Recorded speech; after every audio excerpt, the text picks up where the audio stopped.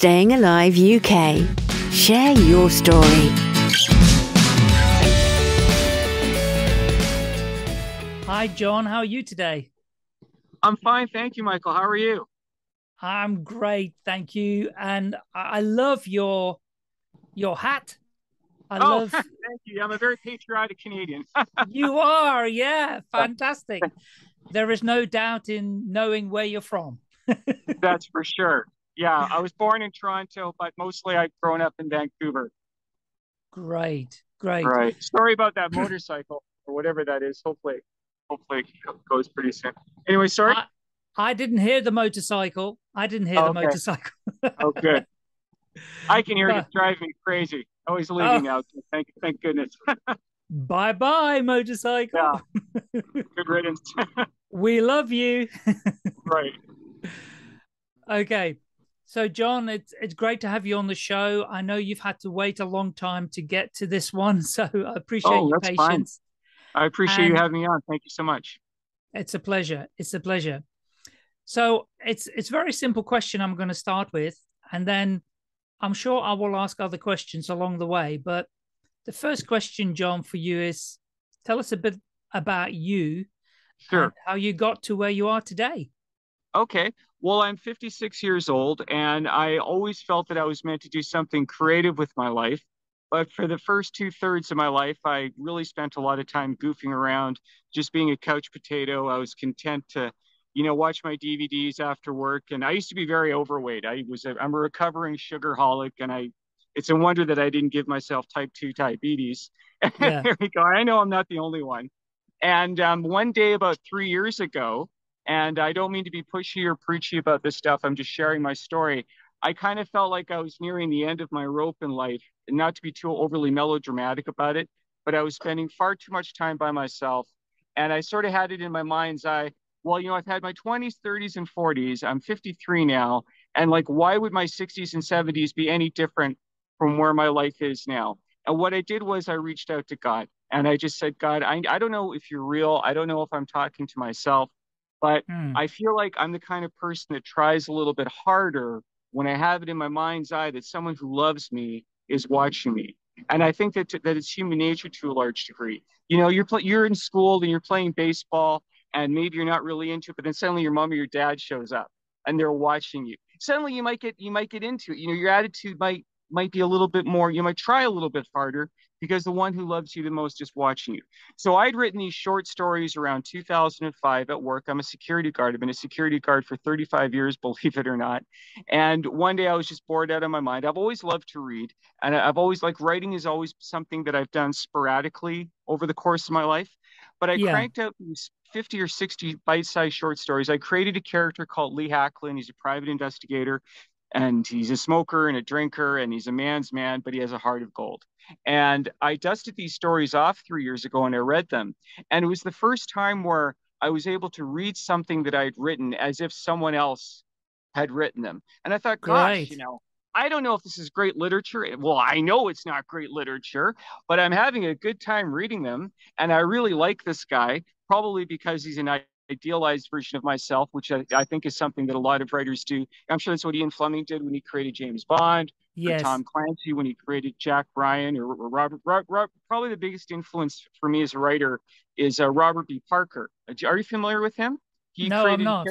he created a character called Spenser, which was a movie recently, Spenser Confidential, with, with Mark Wahlberg. I didn't see it, but um, he's sort of the American Sherlock Holmes. Oh, okay, and, great. Uh, based based in Boston, and I read his books back in the day, and his books are told from a first person narrative.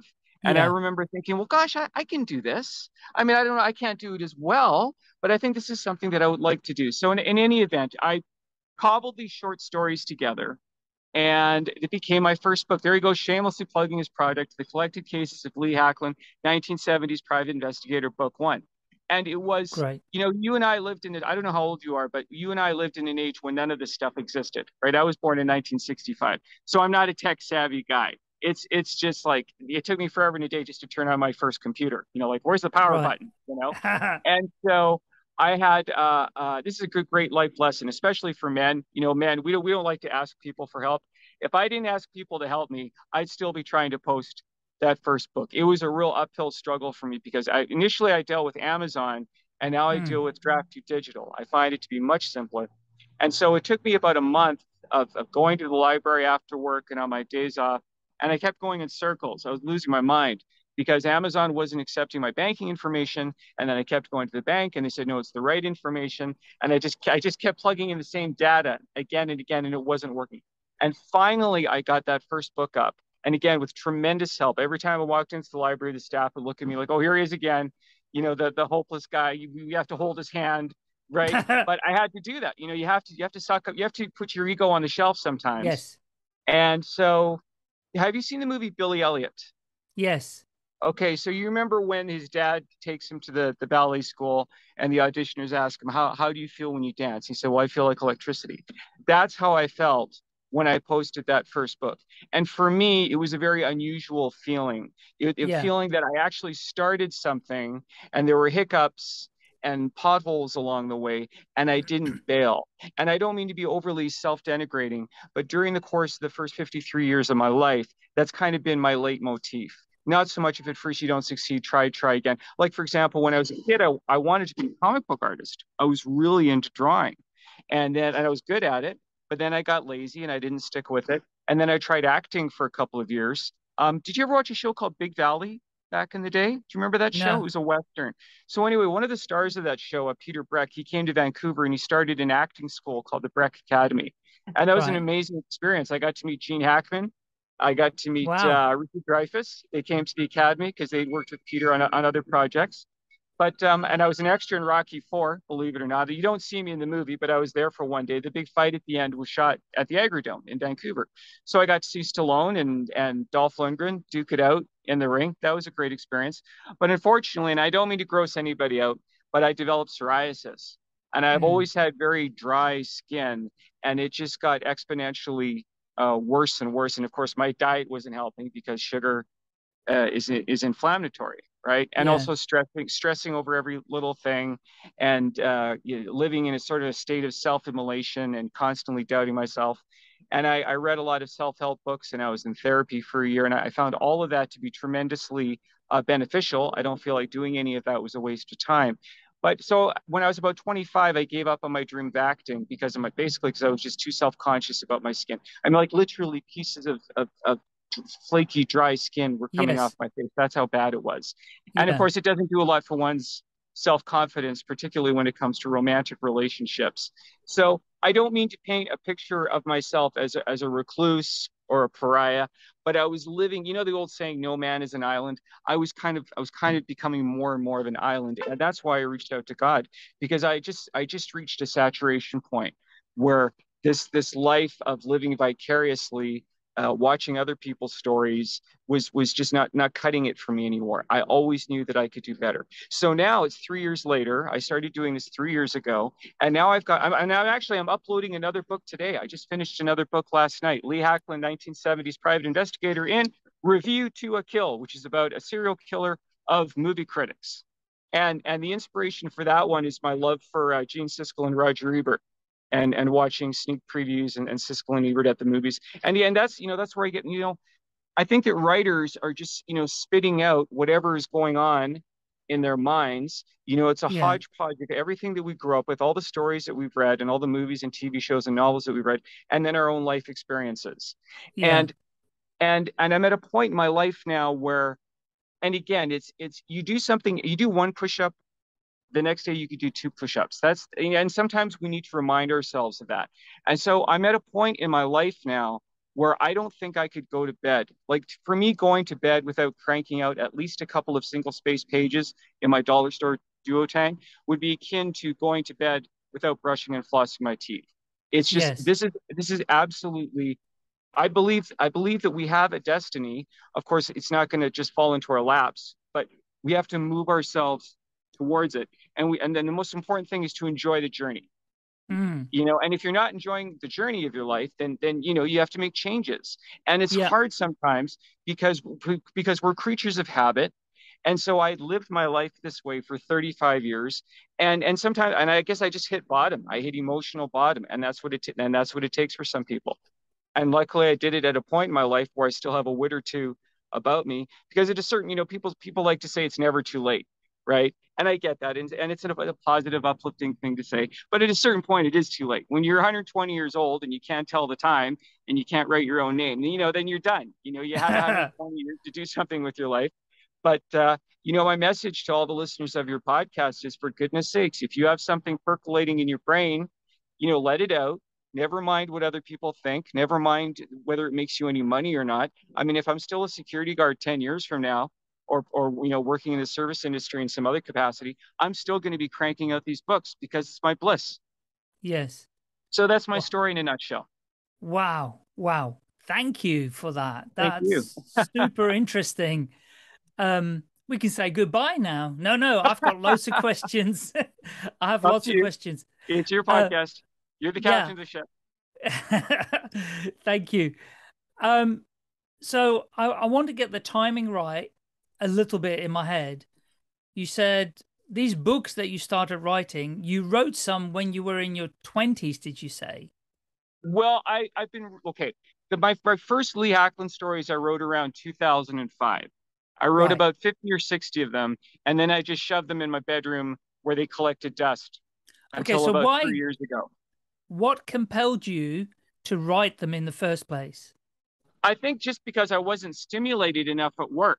I was I was working at this uh, data center where I was letting trucks into the building. It was the, like the world's easiest job. Literally, literally, I'm being paid to like push a button to let trucks into the building and check their ID. And I was, you know, I like I said, I always liked to read, but I just wasn't stimulated enough. Yeah. And as I said, I, I, always liked this character of Spenser, and who is this, uh, you know, hard-bitten private eye with a heart of gold. And so I created this character, and yeah. I just started, I just started writing these these bite-sized short stories, just uh, to entertain after... yourself. Basically, yes, that's exactly right. Just for my own amusement. I really didn't have it in my mind's eye. I'm trying to remember now but I don't think I had it in my mind's eye that I was going to publish them. I don't even think I was aware of Amazon. You know, no. I'm, I'm kind of late, late. I didn't get my first cell phone until like the early 2000s. You know, I'm kind of late, late in the game to this stuff. And like I said, three years ago, I just, I just went, gosh, you know, I know, I, I know that I was meant to do. So I know that I can do this. I know that mm. I was mm. meant for more in life. And like I said, the stuff that, okay, so the stuff that I wrote in my 20s and 30s is just cringeworthy. It's, it's not good it's it's not. I'm a much better writer now than I was then. But like I said, when I read these short stories again three years ago, it I was re- it was like I was reading some. I barely remembered writing a lot of them, and it was wow. like reading something that someone else had written. And so, I mean, it's hard to be objective about your own stuff. Yes. But I had it. I had it in my mind. Said, "Gosh, I've seen a million movies that are worse than this." I mean, have you ever seen a movie and thought, "Gosh, I could write that. I could write a better script in my sleep." I could go home and I could write a script in, in a couple of hours and it would be better than this piece of drivel that I just yeah. watched. I'm sure that everybody feels that way sometimes, you know? Of course. And of so, course. but not all of us want to do it. And, mm. and I've hmm. always had the desire to do it, but not the self-confidence. And I think that the another motivating factor for me is, is just being, you know, the older we get, the more aware we become of the finiteness of time. I mean, yes. I'm lucky that I made it, I made it this far, you know? And so for me getting older, it has been nothing but uh, beneficial for me. Yeah. It's kind of like having a deadline. It's like, you know, that you're working on a project. If you don't have a deadline, it's probably going to take you longer to finish it, right? But if you have a deadline, you know, if you have to get it done at a certain point, or else, you know, you lose your job or you can't pay your yeah. mortgage, or you know, you, that's going to motivate you to do it. So my my awareness. I remember watching an interview with William Shatner, and and the interviewer asked him like, "Gosh, you know, you're just so you have such a passion for life. You know, you just you do everything. He was in space recently, right? He actually yes. he actually went to outer space, and he said because I feel the side, I feel the side of death scratching my back all the time, and that's yeah. how I feel right now, and that's why I'm doing what I'm doing. Brilliant, brilliant. Yeah, thank and you. How many books have you written now? I, have lost count, but I think it's it's approaching 80.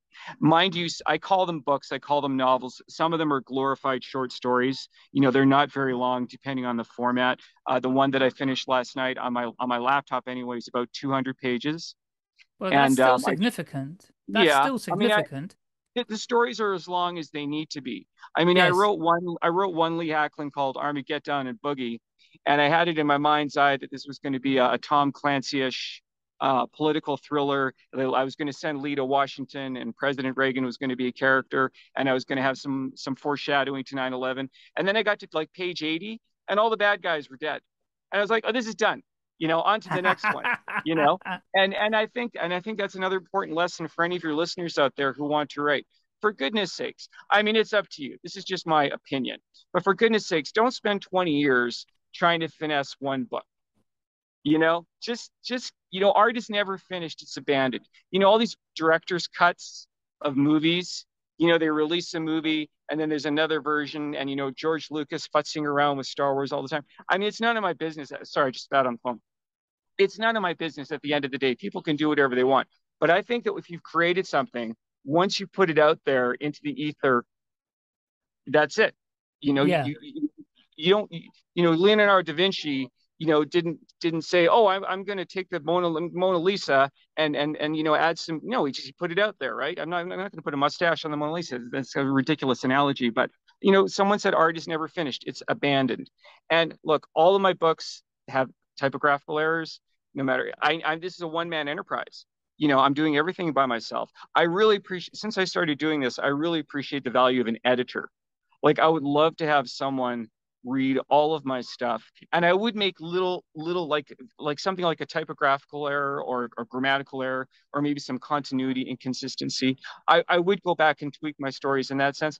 But i also i also feel like the imperfections are are part of the beauty of the art i i yeah. you know what i mean like i've seen a million great movies that had very glaring mistakes you know yeah. in the original in the original star wars there's a scene where, where Obi-Wan lowers his lightsaber and you can see the the you know the glass or the plastic or whatever it is whatever you know I didn't care you know it's it's just it's it, you you you can't spend your whole life trying to make something perfect because our lives are not perfect right no, we're we're, no. we're imperfect creatures the the point is that you're creating something and you know you can look at a mountain and you can look at how beautiful it is or you can you can zero in on the on the little piece of, of, of dog poo that's like in the you know what i'm saying you yes. zero in on that and some people live their whole lives that way and yeah. and i'm guilty of that too to some degree and so for my remaining years you know i, I don't watch the news I, i'm a recovering news junkie i used to listen to all these political podcasts all these very conservative podcasts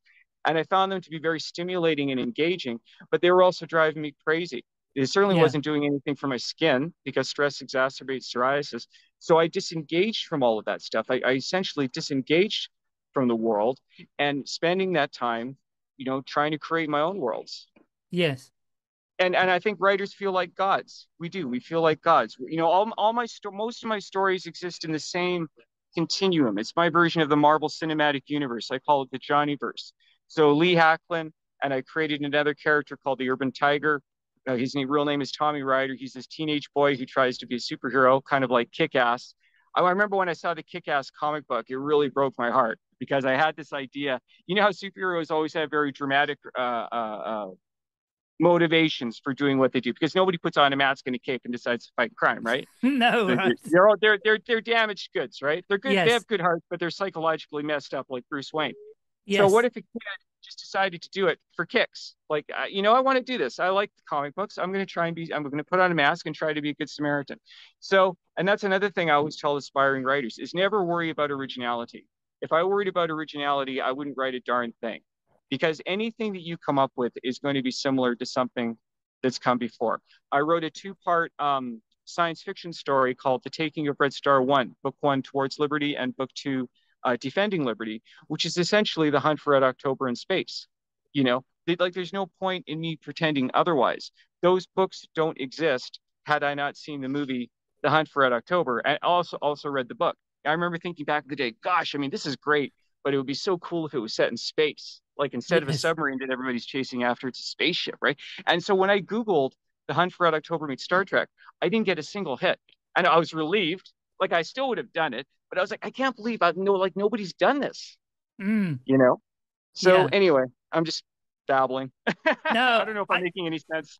You are making perfect sense. Thank you. because um I I'm not an author, but I call myself a storyteller because I help businesses tell better stories. I have a podcast called Share Your Story. Oh, and nice. and I I do a little bit of blogging. And Mm. um, my wife and I we signed up for a course with Hay House, big publisher. I'm sure you've heard of them. And this was like a 13 week course of all the ins and outs of writing, uh, becoming an author, becoming a published author. Um, what are you going to write about? Is it going to be a memoir? Is it going to be a self help? Is it going to be something else? Um, you know, the title, the subtitle, the the graphic, the you know, the ins and outs, and Wow, that sounds great. it was, but I never did a thing with it oh, because- okay, because there was so much of it, Mm. so much information overload, yeah, so many things you've got to do, and Right. listening listening to you and what you're doing with your short stories and your themed stories and everything that you're doing, I think is amazing.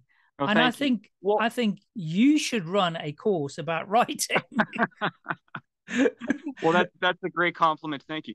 This is another you you touched on something that that really has applied to me in my life and that is i don't think there's any such thing as a lazy person per se and i'm not saying that to be politically correct. I think that that is we are we are easily overwhelmed sometimes and it's the easy like and what you just said is a perfect example of that and that's why i think that sometimes it's better to just jump into the deep end of the pool, which is what I did three years ago. I mean, I I didn't take any courses. I didn't even I didn't read a book on marketing or or, or sell anything. I just I just dove in, and I've just been picking up things along the way, and still picking up things along the way. Of course, you know we're we're we're constantly learning as we're going through our lives. And also having it in my mind's eye that I'm having fun. I'm enjoying this. This is giving me pleasure. I feel like I'm in sync with the John Leister that I was always meant to be. Now, if I was struggling if with all of this stuff, you know, then I wouldn't do it. You know, I'd still be sitting on my couch right now watching my my Netflix and and still weighing 250 pounds and wouldn't be reaching out to nice people like yourself. But because I love myself, I believe in myself, I believe in my stories. Like I said, I know that they're not they're not going to be they're not Charles Dickens. They are you know they are what they are. And and I'm on the journey that I meant to be on. And so I don't have those feelings of overwhelm anymore. No. It's, it's weird. I felt more overwhelmed. It's like the less that I was doing back in the day when I was just being a couch potato, that's when I felt overwhelmed by life Very because I, interesting. I I carved out this comfort zone. Like I just like I, I had in my mind's eye. It's so crazy because I'd read all these self-help books. Like I knew better. I had the I had the intellectual knowledge yeah. to change my life. But I was emotionally invested in this. Gosh, I just can't wait to go home and plunk myself down in front of my TV and watch my, you know, season five of 24 and and and and yeah, how much junk food can I eat tonight? You know, am I gonna have Yeah. pizza or KFC? That that was my leitmotif of life because I, I was overwhelmed Yes. by life. And now that I'm doing stuff, now that I'm I'm proactive, at least on a comparative scale, I don't mm-hmm. have those feelings anymore because I believe in myself. That, that's all there is to it. I mean, it's it's kind of trite thing to say, I guess, but I don't know how No, else to say. not at all. No, not at all. I mean, what you've managed to do is you've managed to find you in what you're doing, but also you've managed to find your pleasure and your. It's not. I mean, people say oh, you got to find your passion, your mission, and all of that. But I think it's much more than that because what's coming across for me, just listening to you, and how, you know, you're not rehearsed, you're natural in the way that Oh, you're thank you. talking about it all. You're you're so natural and sharing Thank that you. information. It's it's highly motivational just listening to you and what you've got Thank to you. say. And I It's- find that oh, I find that that no, no problem. I find that what you've done with writing so many books. I mean, I went on the website, which is the indigo.ca, Yes. is it? Yes. It lists 98 actually No. published Well, items. some of them are some of them are duplicate. They're Oh, it's, okay. It's it's it's it's close to that number. Yeah, it's Yeah. it's close to 90 or whatever.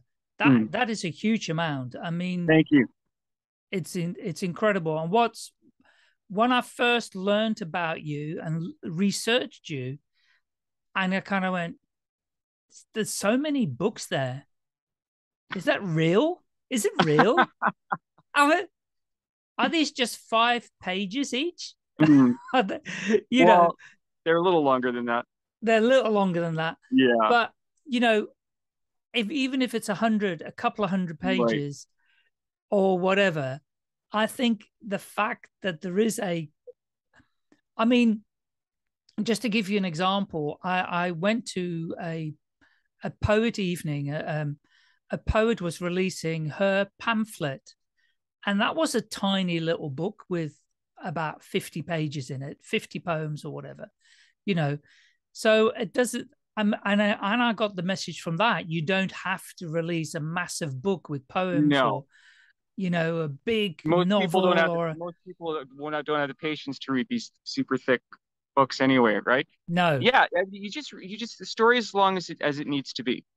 You know, and and I've never read a book that I thought was too short or seen a movie that I thought was was too usually it's like oh this you know, does this movie I saw I saw the Batman in the theater. I was like, did this really need to be three hours long? yes yes yes you know, two hours is enough, right? It's it's it's the act, you know, I think that we all need to feel in life. This is just my hallucination. We need to feel that our lives have purpose. We need to feel a sense that we've left something behind, that we've made the world, even in the minutest way, a better place. And I I'm, I have a group page. I have a Facebook group page called Johnny's Way. I have about 400 members, and I write uh, what I hope are uplifting and motivational uh, essays once or twice a week. And and one of the themes that I that I touch on consistently is there is no greater satisfaction to be felt in life than the feeling of creation, that you created something that would not have existed, that only exists because you willed it into existence. You know, George Lucas was in a terrible car accident when he was 16 years old. It should have killed him. I mean, I saw, I saw a picture of the car that he was driving. He drove Yeah. into a tree. It looks like an accordion. And he walked away from that accident without a scratch, like Bruce Willis from that movie Unbreakable. Do you ever see that Yes. movie where everybody's killed on the train? And so he wanted to be a race car driver. If, I, if, I'm, That's if, I'm right. telling, if I'm telling the story correctly, well, he had two Yeah. passions. One was race car driving, and the other was filmmaking. Well, after that accident, he's like, "The hell with this." You know, I want to be a filmmaker. But my point is, he could have been killed in that accident, right? And so, in an alternate timeline, if there's such a thing as alternate timelines or all parallel universes, George Lucas is dead. There's no Star Wars. That means thousands of people around the world right now, literally thousands, writers, actors, set designers, costume designers, you know, the people who put on the conventions, the people who manufacture the merchandise, the people who sell the merchandise, people who's, they're all doing something else, right? But all of Yeah. those people, because of George Lucas, I'll bet you 99.9% of them absolutely love what they're doing. yeah yeah And that's important because there are very few people in the world, I think, who really, you know, wake up in the morning and say, gosh, I can't wait to go to, I can't wait to go to this place that that pays that's paying for my car or my mortgage. I think that most people, you know, are doing what they're doing because because it pays well or maybe there's a certain amount of status. Or, but uh, you know, like uh, there's no 10 year old boy that wants to be an insurance salesman. I'm not saying there's anything wrong with being an insurance salesman. Obviously, we need insurance salesmen in the world, right? But every 10 year old boy wants to be, or 10 year old girl, sorry to make be sexist, wants to be something like an astronaut, right? Or a Yes. movie star. We, when we're children, we all have these incredible dreams in our minds that, that get whittled away by external factors. And there's Yeah. a few kids, you know, like a Sylvester Stallone, who at a very young age, or Bruce Lee, just just coming up with names at random, who had this incredible self-belief when they're children. And I Yes. think that's something that they came into the world with because, you know, some very successful people, you know, they grew up under tremendously, you know, hard, difficult childhoods and and they chose fight over flight. And as, as for me, and again, I don't mean to be overly self-denigrating, but I had a tendency to choose flight, you know, into into fantasy. Like like when I was a boy coming home from school, I was a very, you know, I was a uh, uh, I was not athletic. I was not into sports. I just wanted to come home and dive into my comic books because the, the, the world, the world of comic books where the heroes and villains were so clearly del- delineated was very appealing to me. You know, yeah. I, I didn't like the real world because it was just like everything's every, everyone seems to be bouncing off. Like I grew up in an environment where people were just in a constant state of bouncing off the walls, and you know every little every little problem is a crisis, and every day just it's the end of the world, and and so all of that stress weighed so much upon me that that these stories became my escape. Yeah. Right. Yeah. And so that that's fine to live your life that way as long as you don't allow it to consume your life. And if and, and which i think that i did. And if we allow it to consume our lives then our whatever dreams that we have that we want to manifest you know they're not they're not going to come out into the corporeal world. You know they're going to die with us. Yeah. So I mean, you know when i posted that first book three years ago i thought I mean, it was one of the happiest days of my life. I was just walking on air. Uh, but I thought, you know, I could die today. I'm sure glad that it didn't. But if I did, you know, if I get hit by a car, if I have an aneurysm or a heart attack, at least I left something behind. Yeah, great. Right? Other than an incident report for an unlocked door. Something that for me, you know, I didn't create the internet. I didn't design a building, right? I didn't cure yeah. a disease. I just wrote this stupid book. I don't think it's stupid. I think it's great. But it required a little bit of effort a little yeah. bit of self belief, a little bit of self love, and actually crossing that finish line. You know, yes. when I saw on screen, you know, your book has been published. You know, like it, like an actor winning the Best Actor award or something. It, it just, it was just that feeling of elation, and I was like, well, you know, I want to feel this way all the time. I don't know how mm. many years I have left. I might have 10, 20, 30. None of us knows. I might have five days left. I want, I want to feel this way all the time. Yeah. And that's why I'm doing this because it, it just makes me feel good about myself. And I like to think that those positive feelings, you know, go out into the world and hopefully inspire other people. I love it. I love it. And are you so would you this is not a full-time job, right? Your full-time job is still security guard. Oh yeah. Oh yeah, this is my, you know, I'm a security guard. I work 32 to 40 hours a week. It's a physically demanding job you know it's it's four hours of patrolling and heavy lifting and, and dealing with difficult people sometimes. And when i come home from work i'm just use my girl my girlfriend lives in australia and one of her favorite words is knackered. So and that's how i feel when that's i come it. home from work. I'm, I'm just like a rag doll. But i have that... my notebook in my knapsack and i've written it i cranked out a couple of pages on my lunch break. I'm lucky that i get to do that. And there's my laptop. And and it's and and when i start here's the thing. When i start writing a funny thing happens. I wake mm. up it, it's mm. uh, it's almost like I have three three cups of coffee because I'm because I don't have to will myself to do it. Right? If I had to, if I had to, if I had in my mind's eye, well, I have to write before I go to bed. I have to do it. I have to do this. Then I wouldn't do it. It's it's an it's a natural it's an it's a natural action. It's what I, it's what I came to this planet. This this is what came with me. This is what this is a part of my soul. That's what I believe anyway. And you know, if it turns out, you know, if it turns out that when I die, it's like being asleep without dreaming. If it turns out that, that the human race is just some sort of cosmic fluke, for me, it doesn't matter. My philosophy, my faith, I, I write every day on my Facebook page. Thank you, God, Johnny's Morning Star and Yellow Sun for another glorious day of life. I've been doing this. I've been writing that every single day for the last three years because the, and the yellow sun. Are you familiar with Superman? And why Superman yes. has powers. He's the yellow sun, right? Krypton had a red sun. He comes to Earth. It has a yellow sun. You take away the yellow sun, and he's just he's just a regular guy, right? Yeah. That's how I feel about God. He is my he's like the Force from Star Wars. He's right. my source of power, and I have it in my mind's eye. And if, and again, if it turns out that I'm completely nuts, it, I like to think it's completely nuts in a good way, in a positive yes. way. I have in my mind's eye that God is watching all of us all of the time like a dad, like he's the ultimate dad. And he expects those of us who are living in the first world nations who have these, because let's face it, there's millions of people around the world who are basically out of luck. They're just, yeah. they're, they were just born in environmentally or politically, you know, corruption and violence and tribalism and civil war every other day and, and famine. And oh gosh, you know, they're, yeah, unless they can get out, get out, they they really they lost they lost the, the, game of life unfortunately in advance because they they they don't have the opportunities that you in the United Kingdom or the music as a Canadian you know we just have and I think that God expects us to try at least sometimes as opposed to doing nothing at all. And that's another piece of advice for anybody out there who wants to do what I'm doing and they've been pro- procrastinating or you know tomorrow tomorrow tomorrow i get it i get it. Just take you know like you said earlier about that course where you were inundated with all of that information yeah. that that's perfectly natural to have that feeling of overwhelm. My opinion is that it's better to go in the opposite direction. Just Yes. take the baby steps. Yeah. Right? And then ask yourself along the way like is, is this really a good fit for me? Does this feel good? You know here's an example. I tried stand-up comedy. I did stand-up comedy four times. Wow and I had it in, um, yeah, uh, there's a bar like a block away from here. They have open mic. And so I just, you know, I talked about quitting earlier and how quitting is a hard habit to break. Well, I tried stand up comedy and I discovered that it wasn't a good fit for me because I just, that pressure of being on stage and, and all those, all these faces looking up at you and they expect you to make them laugh every 10 seconds. And if you don't, if you don't make them laugh, well, then in their mind's eye, you're, you're not a good stand up comic.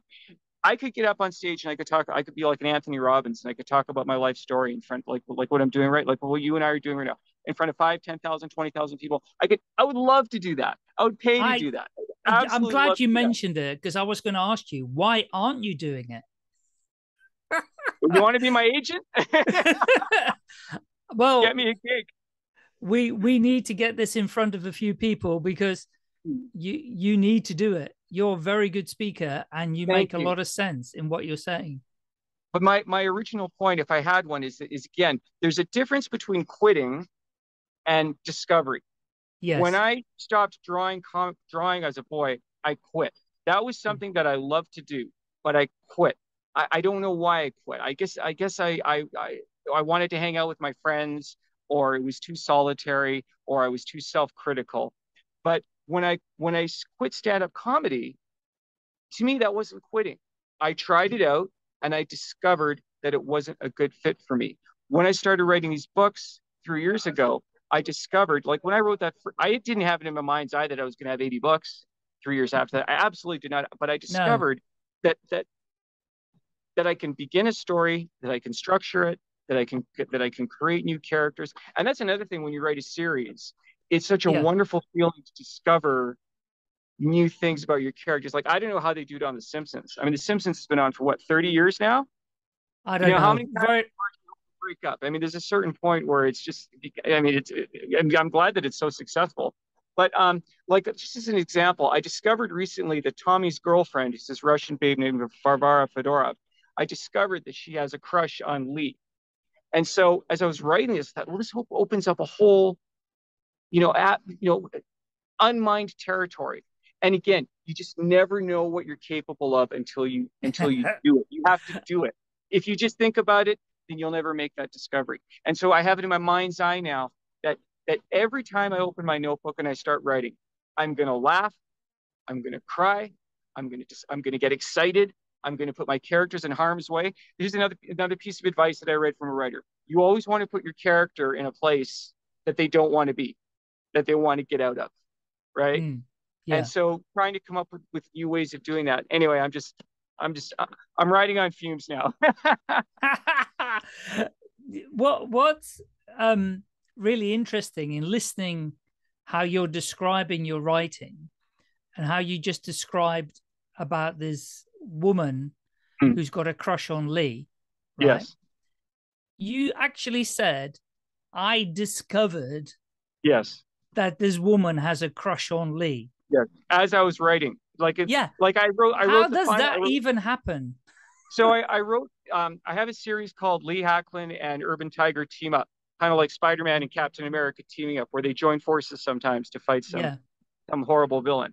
And so the final scene, they're having dinner together and they're saying grace. And as I was writing this scene and they're holding hands, I realized, oh, well, Lee's Lee's holding Tommy's girlfriend's hand. She likes him. Like, boom. Again, that discovery. and of course, Lee has no interest in this girl because not age appropriate. She's like 20 and Lee's like 35. But in T- Tommy's mind, and Tommy looks at Lee as the epitome of, of masculinity. Like he's he's an oddly they have like a big brother little brother relationship. He's he's losing. So it's that I like writing those kind of um, dynamics, like character dynamics. Like to me, the, oh I'm gonna I'm gonna go inside. The lawnmower of all things. Um, going inside now. So for me, the appeal of the original Star Wars was you had Luke, Han, and Leia. You know, the, Yes. the, the interaction between those three characters. And I remember back in the day, can you hear me okay? Yes. I remember back in the day, a lot of people. I guess I'll go back. Okay. I remember a lot of people back in the day were saying how much they didn't like science fiction and they didn't like fantasy, but they liked that movie because those three characters were so relatable. And I like to think that that's my strength as a writer, that I can create characters that I hope the reader can can identify with and relate to. You know, Well, there's, that- there's a reason there's a reason why these characters, like whether it's Peanuts or Archie or the Marvel Comics characters, there's a reason why they appeal to every new generation. Because we all know a kid like Charlie Brown, or we see ourselves in Charlie Brown, right? The, the, the, the Peanuts children, they all have really distinct personalities Yeah. Yeah. right? And so I like to think that that's my my my, my stories are not so much story driven; they're more they're more character driven.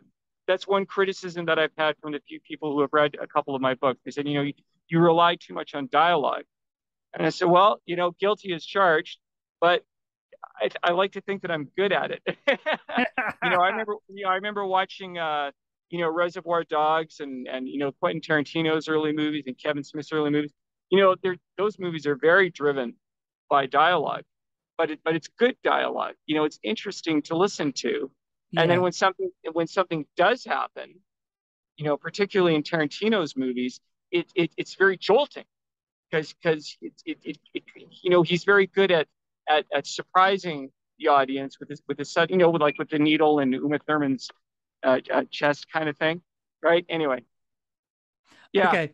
So, a couple of things. I'm just going to go back a little bit. You were talking about um, um, Lucas, and th- you made a reference to his car crash, and he loved motor cars and stuff. yeah, And a lot of the imagery that he created in the first movie was based on racing cars. Mm. Um, for one, number two, when he when he was writing the script for Star Wars or the story or whatever, he wasn't that happy with it, and he then discovered Joseph Campbell. Do you know Joseph Right. Campbell? the hero He with did- a thousand faces, So no, the hero's journey. hero's Right. journey, right? The hero's journey. So he then redid Star Wars based on the hero's journey. Mhm. And of course, the hero's journey has got certain steps through it, Right, which is, you know, the the hero that is doesn't want to be a hero, but right, right, right. you know, it's whether it's the Matrix or whether it's right. Batman or Yes, Superman or whatever. It doesn't really matter, does it? no, Um, they're all the kind of unlikely heroes. yeah, all of all of it, all of it. yeah, I mean, all the best stories are based on the hero's journey. right, But the thing, of course, exactly what you said, and it dawned on me when I first discovered this, is that all of us are living those journeys too. You know, yes. We're all the stars of our own movies, correct. right? We're all the heroes in our own Yeah. movies, and we all have adversity that we over have to overcome. Right. Well, we and need that stuff. Yeah. You know, I and think, I think. Sorry, go ahead. Go ahead. No, and that's why when you said, why do we need to watch a Batman movie that's three hours long? Because we want to watch our own story unfold on the screen because we believe it is our story. And that's the only way we can connect to your stories, stories in film, stories on the TV, on Netflix, etc. That's why it's so relatable. Yeah. Right. And you know, I, I like to think that my stories are uplifting. They all have happy endings, spoiler warning, except for the bad guys. You know, good is rewarded and evil is punished. And that's the world that I that I want to live in. And I think Yeah. that another thing about writing is it's very therapeutic. Um, I wrote a book called The Treehouse Avengers, which is a standalone. And um, it's very autobiographical. It's basically about my childhood. And the, the father of this boy, Clint Wagner, who is the main character, is a very abusive and violent and uh, temperamental man, very much based on my own dad. And it was very therapeutic. And I wrote a lot of the stuff that happened to me when I was a kid. And it was very therapeutic for me. It was Yeah. like a purging. Well, well done. and and and and trying to create and we're also trying to create worlds i think that skew uh, that sort of tilt in a in a way that's in sync with what we believe in much like when when gene roddenberry created star trek you know star Yes. trek isn't so much about spaceships and klingons and vulcans it's to me anyway and i think gene roddenberry had this in his mind's eye i don't mean to speak for him but i think that he created a world where this is how people should behave like this is the gold standard of how a human being it, like when there's a problem, we don't fall to pieces, right? We don't run to the liquor store. When there's a problem, we, we deal with it the best we can with a, with a smile and a positive attitude, and and and we put ourselves in harm's way if, if we feel that we need to, and we not we don't worry about the consequences. We just do what's right. And I felt the same way about the Brady Bunch. You know, I loved the Brady Bunch when I was a kid. I watched Yes. that show, and it broke my heart that people made fun of it. And like, it literally made me really sad. They're like, how come people? Why? Why are people making fun of this? These are. I would love to know the Brady Bunch. I, I would love to hang out with these Yes. kids. Yes. You know, they're wonderful. They're they're exemplary human beings. And so Yeah. that's the that's kind of the dark side for me of human nature. And again, that dark side exists because I believe God gave us free will. yeah. You Yeah. Uh, know, because otherwise, again, there. I think initially, I mean, I believe I believe in the story of Adam and Eve in the Garden of Eden, like not literally, but my hallucination is that when, when when when this whole nutty experiment called the human race started, I think my hallucination is like well, like what Agent Smith said in the first. You mentioned the Matrix. Do you remember that scene where Agent Smith says to uh, Morpheus, he says, "We gave you guys paradise, and it didn't take. We lost crops because, truthfully, we don't want paradise. Because if we had paradise, we'd die of boredom. We need our hills to climb. We need our challenges because that's what. And I don't think we should go out of our way to create that stuff, which we which we do sometimes if we if we don't love ourselves. But you know, we have to have our hiccups in life because that's what gives us purpose. Yeah. Yeah. And I we mean, need we need purpose. Purpose. If, without purpose, then there's no reason for, for us to be here. 100%. Yeah. 100%. John, it's it's such wisdom is coming out of your your mouth all related to, you know, all your writing that you've been doing and and I think that your writing um can you hear me okay? Yeah. It's just this this lawnmower is driving me crazy. That's a little better. Sorry. Go ahead. No, your writing has given you not only has it allowed you to heal yourself, but it has also given you a massive dimension into human nature. Thank you. I I really believe that, and I've we'll have to talk after this because the, there is a place where I would love for you to be able to do some talking, some some more impromptu talking, um, that might get you that gig that you should be having. That'd be wonderful. have you have you come across social audio yet? Have you come across social audio yet? No, I don't know what that is. Okay. Um, have you heard of Clubhouse? No. Is that a website? It's an app. Okay. It's an app, and people go on there to talk to each other. Um, so it's it's like Zoom without the video, but it's live, and there are thousands of people on there talking about different things, uh, including some of the things that you talked about. Talk about there are authors there, there are storytellers, there are sound engineers, there are meditation teachers, there are many, many different things that go on. It's an app, it's free to download. okay. You just you just need to register. And um, if you've got a smartphone, you should be able to download it. I highly recommend you check it out. It's called Clubhouse. Okay. Clubhouse. Okay. Yeah. Thank you. Thanks for that information. And then what we'll do once you're kind of, uh, you know, you'll find me on there, ping me a message, and then we'll we'll create something on there, um, and get your voice heard a bit Oh, that further. sounds nice. That sounds Um, wonderful. You'll you'll find it very interesting indeed. You'll find it very interesting. Okay. Uh, I'll, I'll give you some time to get familiar with it, have a look around, listen into some of the the rooms that are where people are speaking, and uh, yeah, let me know what you think. Okay, we'll do. John, um, I know you're having difficulty hearing me there a little bit. That's fine. But... No, I can hear you fine. Okay, great. I'm just Tell concerned us... that you can't hear me. I can hear you absolutely fine. You're loud and oh, clear. Great. You're loud and clear. Share with the listeners how they can get in touch with you, how they can read your books, how they can connect, how they can join your group. What's the best way? Sure.